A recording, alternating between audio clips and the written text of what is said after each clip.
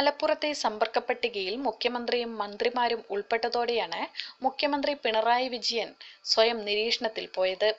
ആരോഗ്യവകുപ്പ് തയ്യാറാക്കിയ സമ്പർക്ക പട്ടികയിലാണ് മുഖ്യമന്ത്രിയും മന്ത്രിമാരുമുള്ളത്. കഴിഞ്ഞ ദിവസം മലപ്പുറം ജില്ലാ പോലീസ് മേധാവിക്ക് കോവിഡ് സ്ഥിരീകരിച്ചിരുന്നു. ഇതിന് പിന്നാലെയാണ് ഇന്ന് കളക്ടർ ഉൾപ്പെടെ ഇരുപത് പേർക്ക് കോവിഡ് സ്ഥിരീകരിച്ചത്. ജില്ലാ collector sub collector Perinthalmanna A S P എന്നിവർക്കാണ് രോഗബാധ. അസിസ്റ്റന്റ് കളക്ടർക്കും സുരക്ഷാ ഉദ്യോഗസ്ഥർക്കും കോവിഡ് സ്ഥിരീകരിച്ചിരുന്നു. കരിപ്പൂർ അപകട സമയത്ത് ഇവർ നിരവധി പേരുമായി സമ്പർക്കത്തിലായിട്ടുണ്ട്. മുഖ്യമന്ത്രിയും ഗവർണറും സ്പീക്കറും ആരോഗ്യമന്ത്രിയും നിരവധി മന്ത്രിമാരും ഉന്നത പോലീസ് ഉദ്യോഗസ്ഥരും ചീഫ് സെക്രട്ടറിയുമടക്കം നിരവധി പേർ അപകടത്തിന്റെ പശ്ചാത്തലത്തിൽ അവിടെ എത്തിയിരുന്നു. ഇവരുമായെല്ലാം സമ്പർക്കമുണ്ടായ സാഹചര്യത്തിൽ കൂടിയാണ് മുഖ്യമന്ത്രി അടക്കമുള്ളവരോട് നിരീക്ഷണത്തിൽ പോകാൻ ആരോഗ്യവകുപ്പ് ആവശ്യപ്പെട്ടത്. News desk real news Kerala. Covid സ്ഥിരീകരിച്ച് വീട്ടിൽ ക്വാറന്റൈനിൽ കഴിയുകയായിരുന്ന കേന്ദ്ര ആയുഷ് മന്ത്രി ശ്രീപദ് നായിക്കിനെ ആശുപത്രിയിലേക്ക് മാറ്റി. ആശുപത്രിയിലേക്ക് മാറ്റിയ വിവരം ബന്ധുക്കളാണ് അറിയിച്ചത്. ബുധനാഴ്ചയാണ് മന്ത്രിക്കും ഭാര്യയ്ക്കും കോവിഡ് സ്ഥിരീകരിച്ചത്. കോവിഡ് ബാധിച്ച വിവരം മന്ത്രി തന്നെയാണ് ട്വിറ്ററിലൂടെ അറിയിച്ചത്. രോഗലക്ഷണങ്ങൾ ഇല്ലാത്തതിനാൽ മന്ത്രി വീട്ടിൽ നിരീക്ഷണത്തിൽ തുടരുകയായിരുന്നു. കോവിഡ് സ്ഥിരീകരിച്ചതിനെ തുടർന്ന് സമ്പർക്കം പുലർത്തിയവരോട് നിരീക്ഷണത്തിൽ പോകാനും മന്ത്രി ആവശ്യപ്പെട്ടിരുന്നു. യോഗ ചെയ്താൽ കോവിഡ് വരില്ലെന്ന് നായിക്കിന്റെ പ്രസ്താവന നേരത്തെ വലിയ ചർച്ചയായിരുന്നു. കഴിഞ്ഞയാഴ്ച പെട്രോളിയം മന്ത്രി ധർമ്മേന്ദ്ര പ്രധാന് കോവിഡ് സ്ഥിരീകരിച്ചിരുന്നു. കേന്ദ്ര ആഭ്യന്തരമന്ത്രി അമിത് ഷാ അർജുൻ റാം മേഘ്വാൾ കൈലാഷ് ചൗധരി തുടങ്ങിയവർക്കും കോവിഡ് സ്ഥിരീകരിച്ചിട്ടുണ്ട്. News desk real news Kerala. ഐസ്ക്രീമിൽ എലിവിഷം കലർത്തി സഹോദരിയെ കൊന്ന കേസിൽ പ്രതി ആൽബിൻ ബെന്നിയെ ഇന്ന് കോടതിയിൽ ഹാജരാക്കും. സ്വന്തം സ്വഭാവരീതികളോട് വീട്ടുകാർ അനിഷ്ടം പ്രകടിപ്പിച്ചതും തന്റെ സുഹൃത്തുക്കളെ വീട്ടുകാർക്ക് ഇഷ്ടമല്ലാത്തതും ആൽബിനെ ചൊടിപ്പിച്ചിരുന്നു. കൂടാതെ വീടിനടുത്തുള്ള യുവതിയോട് ആൽബിനുണ്ടായിരുന്ന അടുപ്പം വീട്ടുകാർ ഇഷ്ടപ്പെടാതിരുന്നതും പ്രതിക്ക് വൈരാഗ്യം വർദ്ധിപ്പിച്ചു. സഹോദരിയോട് മോശമായി പെരുമാറാൻ ശ്രമിച്ചതും അശ്ലീല വീഡിയോ കാണുന്നതും സഹോദരി വീട്ടുകാരോട് പറയുമോ എന്ന ആശങ്കയും പ്രതിക്കുണ്ടായിരുന്നതായി പോലീസ് പറഞ്ഞു. ബളാൽ അരിങ്കലിലെ ഓലക്കിൽ ബെന്നിയുടെ മകൾ ആൻമേരിയുടെ മരണത്തിലാണ് സഹോദരൻ ആൽബിൻ ബെന്നിയെ പോലീസ് അറസ്റ്റ് ചെയ്തത്. മാതാപിതാക്കൾ ഉൾപ്പെടെ മൂന്ന് പേർക്കാണ് ഐസ്ക്രീമിൽ എലിവിഷം ചേർത്തു നൽകിയത്. കഴിഞ്ഞ മുപ്പത്തിയൊന്നിന് വീട്ടിലുണ്ടാക്കിയ ഐസ്ക്രീം ആൽബിൻ ഒഴികെ മറ്റെല്ലാവരും കഴിച്ചു. തുടർന്ന് അവശനിലയിലായ ആൻമരിയയ്ക്ക് മഞ്ഞപ്പിത്തമാണെന്നു കരുതി നാടൻ ചികിത്സ നൽകി. News desk real news Kerala. Uthra കൊലക്കേസ് അന്വേഷിക്കുന്ന ഉദ്യോഗസ്ഥരെ വകവരുത്താൻ ജയിലിൽ വച്ച് സൂരജ് സഹതടവുകാരുമായി ഗൂഢാലോചന നടത്തിയെന്ന് മൊഴി.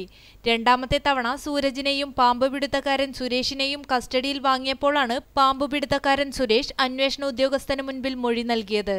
മാവേലിക്കര ജയിലിൽ കഴിഞ്ഞു വന്ന സൂരജിന് സെല്ലിനുള്ളിലുണ്ടായിരുന്ന കൊലപാതക കേസിലെ പ്രതികളുമായി ചേർന്ന് പോലീസ് വനം വകുപ്പ് ഉദ്യോഗസ്ഥരെ വകവരുത്തുന്നതിനെക്കുറിച്ചുള്ള തീരുമാനങ്ങൾ എടുത്തു എന്നാണ് സുരേഷ് കുമാർ മൊഴി നൽകിയത്.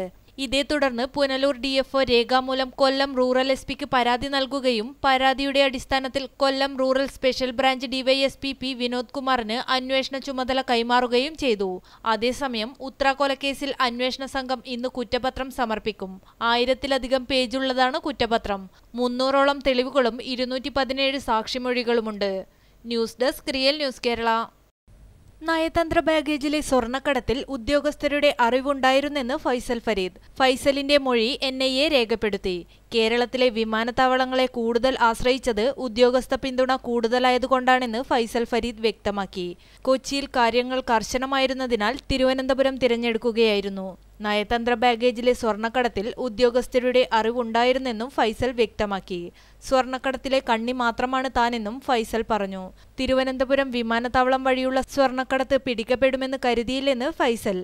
അതേസമയം ശിവശങ്കറുമായി നേരിട്ട് ബന്ധമില്ലെന്നും സ്വപ്നയ്ക്കും സരിത്തിനും ഉദ്യോഗസ്ഥരുമായി നല്ല ബന്ധമുണ്ടെന്നും ഫൈസൽ ഫരീദ് ദുബായിൽ എൻ നടത്തിയ ചോദ്യം ചെയ്യലിൽ വ്യക്തമാക്കി. News desk real news Kerala. രാജ്യത്ത് കോവിഡ് ബാധിതരുടെ എണ്ണം വർദ്ധിക്കുന്നു. കഴിഞ്ഞ ഇരുപത്തിനാല് മണിക്കൂറിനിടെ അറുപത്തിനാലായിരത്തി അഞ്ഞൂറ്റി അൻപത്തി മൂന്ന് പേർക്ക് കൂടി കോവിഡ് നയന്റീൻ സ്ഥിരീകരിക്കുകയും ആയിരത്തിയേഴ് പേർ മരിക്കുകയും ചെയ്തു.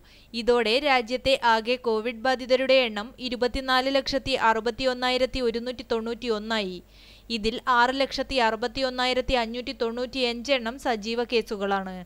പതിനേഴ് ലക്ഷത്തി അൻപത്തി ഒന്നായിരത്തി അഞ്ഞൂറ്റി അൻപത്തി ആറ് പേർ രോഗമുക്തി നേടി. നാൽപ്പത്തി എട്ടായിരത്തി നാൽപ്പത് പേർക്കാണ് കോവിഡ് മൂലം ഇതുവരെ ജീവൻ നഷ്ടമായതെന്നും ആരോഗ്യ മന്ത്രാലയം അറിയിച്ചു. ഓഗസ്റ്റ് പതിമൂന്ന് വരെ രണ്ട് കോടി എഴുപത്തിയാറ് ലക്ഷത്തി തൊണ്ണൂറ്റി നാലായിരത്തി നാനൂറ്റി പതിനാറ് സാമ്പിളുകളാണ് പരിശോധിച്ചതെന്നും Indian council of medical research വ്യക്തമാക്കുന്നു. വ്യാഴാഴ്ച മാത്രം എട്ട് ലക്ഷത്തി നാൽപ്പത്തി എട്ടായിരത്തി എഴുന്നൂറ്റി ഇരുപത്തിയെട്ട് സാമ്പിളുകളാണ് പരിശോധിച്ചതെന്നും ഐ സി എം ആർ കണക്കുകൾ സൂചിപ്പിക്കുന്നു. രാജ്യത്തെ ലാബുകളിൽ ഒറ്റ ദിവസം ഏറ്റവും അധികം കോവിഡ് ടെസ്റ്റുകൾ നടത്തിയ കണക്കാണിത്. നിലവിലെ കണക്ക് പ്രകാരം രാജ്യത്ത് ഏറ്റവും കൂടുതൽ കോവിഡ് രോഗികളുള്ള മഹാരാഷ്ട്രയിലാണ്. തമിഴ്നാടും ആന്ധ്രാപ്രദേശും കർണാടകയുമാണ് തൊട്ടുപിന്നിൽ. News desk real news Kerala. Chinese ആപ്പുകൾ നിരോധിച്ച കേന്ദ്ര സർക്കാർ നടപടിക്ക് പിന്നാലെ രൂപപ്പെട്ട പ്രതിസന്ധി മറികടക്കാൻ ടിക്ടോക്ക് ആപ്പിനെ റിലയൻസ് ജിയോയ്ക്ക് വിൽക്കാൻ ബൈറ്റ് ഡാൻസ് ആലോചിക്കുന്നതായി റിപ്പോർട്ട്. കഴിഞ്ഞ മാസമാണ് ഇരു കമ്പനികളും ഇതു സംബന്ധിച്ച ചർച്ചകൾ ആരംഭിച്ചതെന്നും ഇതുവരെയും ഒരു തീരുമാനത്തിൽ എത്തിയിട്ടില്ലെന്നും റിപ്പോർട്ടുണ്ട്. മുന്നൂറ് കോടി യു എസ് ഡോളറിന്റെ വരുമാനമാണ് ഇന്ത്യയിൽ നിന്ന് ടിക്ടോക്കിന് ലഭിച്ചിരുന്നത്. എന്നാൽ റിപ്പോർട്ടിനെ കുറിച്ച് പ്രതികരിക്കാൻ ഇരു കമ്പനികളും മുതിർന്നിട്ടില്ല. ആപ്പ് നിരോധനത്തിന് പിന്നാലെ ടിക്ടോക്കിലും ബൈറ്റ് ഡാൻസിലും ജോലി ചെയ്തിരുന്നവർ മറ്റു സ്ഥാപനങ്ങളിലേക്ക് തിരിയുന്ന സാഹചര്യത്തിലാണ് പുതിയ വാർത്ത പുറത്തു വന്നിരിക്കുന്നത്. ഇന്ത്യയിൽ ബൈറ്റ് ഡാൻസിന് രണ്ടായിരത്തിനടുത്ത് ജീവനക്കാരാണുള്ളത്. ദേശസുരക്ഷയെ ബാധിക്കുന്നു എന്ന് ചൂണ്ടിക്കാട്ടിയാണ് ടിക്ടോക്ക് അടക്കമുള്ള അൻപത്തിയൊൻപത് ചൈനീസ് ആപ്പുകൾ ഇന്ത്യ ഗവൺമെന്റ് നിരോധിച്ചത്. ഇതിനു പിന്നാലെ അമേരിക്കയും ടിക്ടോക്ക് നിരോധിക്കാനൊരുങ്ങി രംഗത്ത് വന്നു.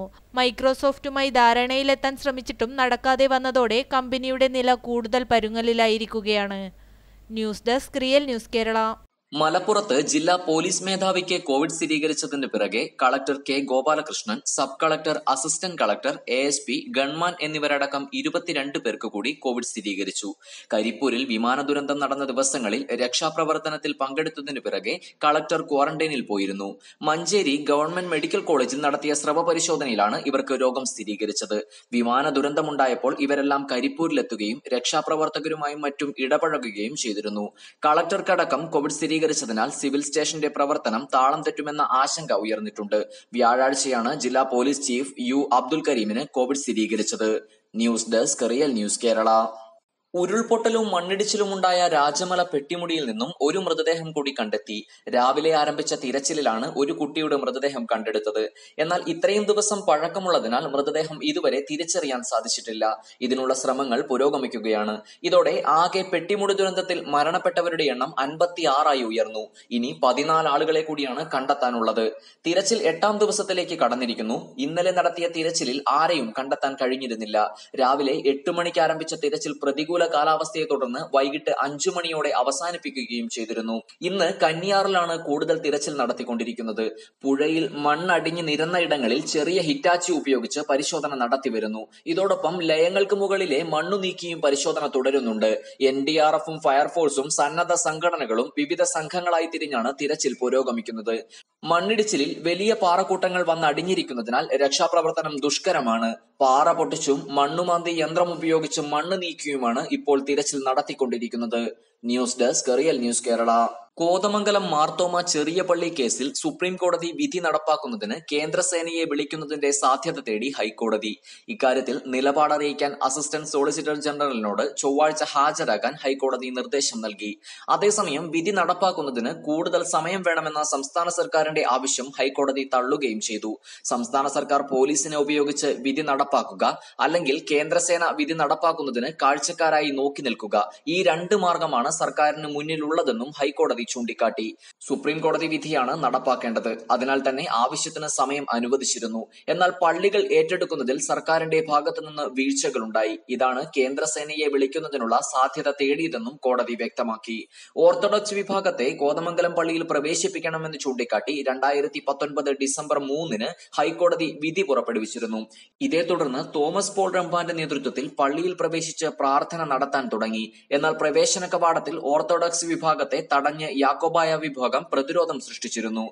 തുടർന്നാണ് ജില്ലാ ഭരണകൂടത്തിനെതിരെ കോടതിയലക്ഷ്യ ഹർജിയുമായി തോമസ് പോൾ റംബാൻ ഹൈക്കോടതിയെ സമീപിച്ചത്. യെൽദോ മാർ ബസേലിയോസ് ബാവയുടെ മുന്നൂറ്റി മുപ്പത്തിനാല് വർഷം പഴക്കമുള്ള കബറിടം അടക്കമുള്ള തിരുശേഷിപ്പുകൾ സൂക്ഷിച്ചിട്ടുള്ളത് കോതമംഗലം പള്ളിയിലാണ്. News desk real news Kerala. ശബ്ദമലിനീകരണ നിയന്ത്രണ ചട്ടങ്ങൾ ലംഘിച്ചാൽ ഒരു ലക്ഷം രൂപ വരെ പിഴ ഈടാക്കാനുള്ള നിർദ്ദേശത്തിന് ദേശീയ ഹരിത ട്രിബ്യൂണൽ അനുമതി നൽകി. ഡൽഹിയിലെ ശബ്ദമലിനീകരണ വിഷയത്തിൽ കേന്ദ്ര മലിനീകരണ നിയന്ത്രണ ബോർഡാണ് ഇത്തരമൊരു നിർദ്ദേശം മുന്നോട്ട് വെച്ചത്. ജൂൺ പന്ത്രണ്ടിന് കേന്ദ്ര മലിനീകരണ നിയന്ത്രണ ബോർഡ് ഹരിത ട്രിബ്യൂണലിന് സമർപ്പിച്ച റിപ്പോർട്ടിലാണ് ഇത്തരമൊരു നിർദ്ദേശം മുന്നോട്ട് വെച്ചത്. ഉച്ചഭാഷണികളുടെയും പൊതു അറിയിപ്പ് സംവിധാനങ്ങളുടെയും ദുരുപയോഗം ആയിരം കിലോ വോൾട്ട് ആംബിയർ മുതലുള്ള ഡീസൽ ജനറേറ്ററുകളിൽ നിന്നുള്ള ശബ്ദമലിനീകരണം തുടങ്ങിയവയ്ക്കാണ് ഒരു ലക്ഷം രൂപ പിഴ ഈടാക്കുക. ഇത്തരം സംഭവങ്ങളിൽ ഉപകരണങ്ങൾ കണ്ടുകിട്ടുകയും ചെയ്യും. കൂടാതെ നിർമ്മാണ മേഖലയിലും ശബ്ദം പുറത്തു വരുന്നതിന് നിയന്ത്രണങ്ങളുണ്ട്.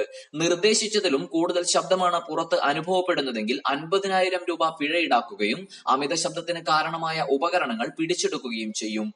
ജനവാസ കേന്ദ്രങ്ങളിൽ പകൽ അൻപത്തി അഞ്ച് ഡെസിബൽ വരെ ശബ്ദമാകാം. രാത്രി അത് നാൽപ്പത്തി അഞ്ച് ഡെസിബലും ശബ്ദമാകാം. ആശുപത്രികൾ വിദ്യാലയങ്ങൾ തുടങ്ങി ശബ്ദ നിയന്ത്രിത മേഖലകളിൽ പകൽ അൻപത് ഡെസിബലും രാത്രി നാൽപ്പത് ഡെസിബലും വരെ ശബ്ദമാകാം. മാത്രമല്ല അനുവദിക്കപ്പെട്ടതിനേക്കാൾ ശബ്ദമുണ്ടാക്കുന്ന വെടിക്കെട്ട് നടത്തുന്നതിനും വലിയ പിഴ ഈടാക്കും.